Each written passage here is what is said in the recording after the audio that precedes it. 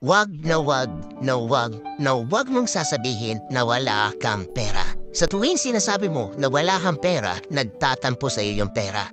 And by virtue of the law of attraction, sa tuwing sinasabi o iniisip mo na wala kang pera, ano sa tingin mo yung ina-attack mo? Tama, mawawalan ka o hindi kaya wala nang darating na pera sa'yo. So the next time na ka ng tropa mo na mag-inuman o hindi kaya kumain sa labas o hindi kaya manood ng sine, instead of saying, Sorry bro, wala akong pera. Ang sabihin mo, Sorry bro, wala akong budget. Sa tuwing may mangungutan sa'yo, huwag mong sabihin, Sorry pre, hindi kita mapapautang.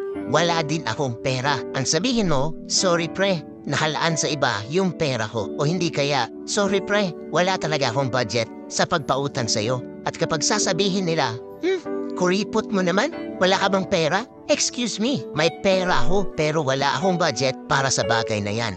It's a very simple thing to do pero instantly, nagbabago yung mindset mo from a mindset of emptiness to a mindset of abundance.